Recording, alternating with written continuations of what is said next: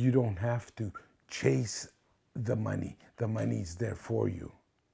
All you have to do is abide by the rules.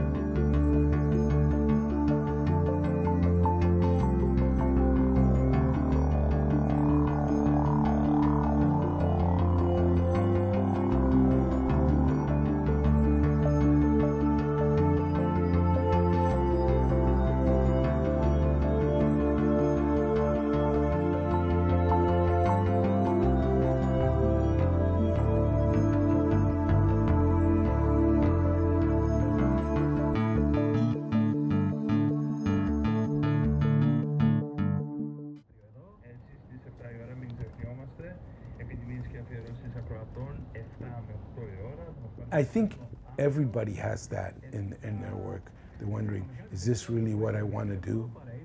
And then you have to say, well, if you don't do this, what am I going to do? Try to focus on the positive.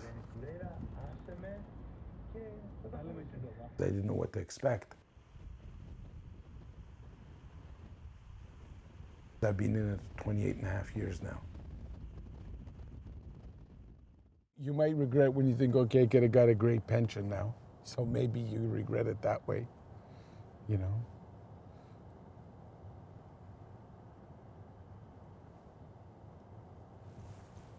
But other than that, I think everything worked out okay. We got married in 85, and that's when I started driving a cab, basically. I decided, let's first get the, my cab license, then after we get married and come back from our honeymoon, then I can start the new uh, life. These days, I don't think you can do what we did because I think houses are more expensive. I don't think one person can will be able to manage. And then some of them are, are, are immigrants. I've heard that were in their country, they were doctors, they couldn't find a job, so they're doing this, and maybe they don't like that. And maybe some of them don't like talking to people. My marks weren't high enough, and I didn't study enough to, to go to university. Why.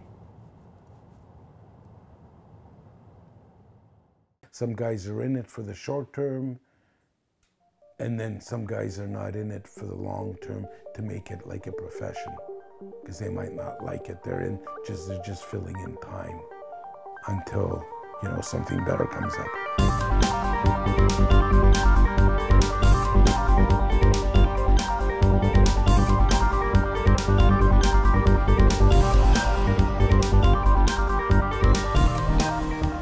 Cab business, you're trying to get them in and out fast so you can go to your next call. When you're a cab driver, you don't have to escort anybody.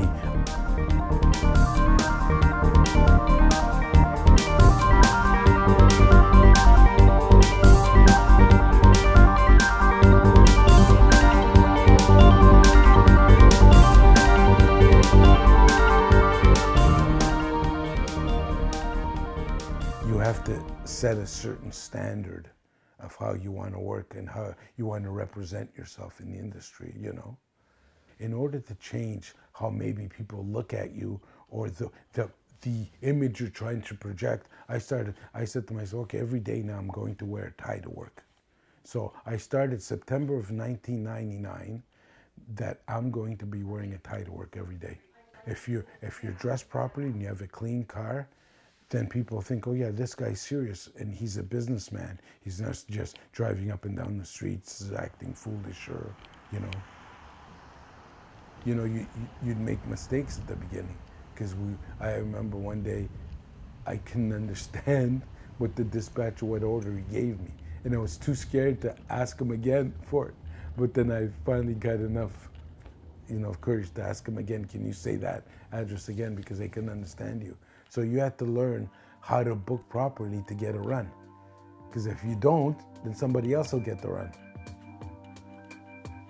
So you have to you have to figure all these things out.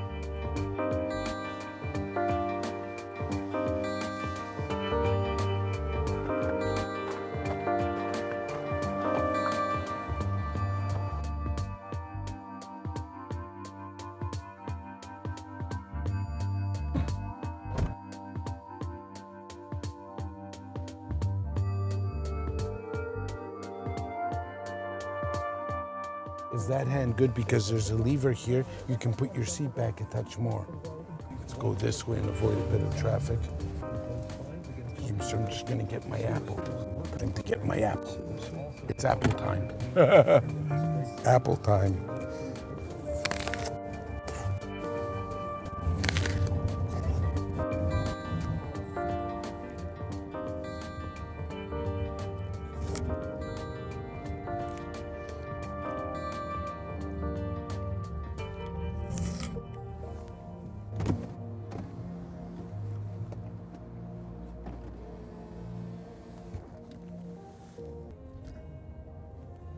That's okay. The good, the kids are taking care of you right now. Yes. Thank God for that, right, sir? Yes. You don't need money as long as you have your health and your kids that love you. You then you're the wealthiest man in the world. Am I right, sir? Yes. Yeah. Right. Yeah, exactly. You're 100% right. I'll tell you what my mother told me.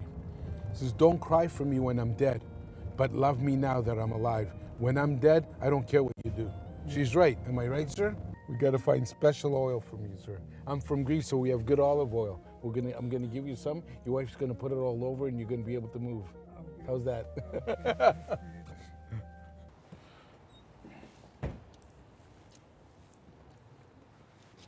You're gonna grab. We're gonna come a little bit here, close the door, so then we can go that way. Okay, man?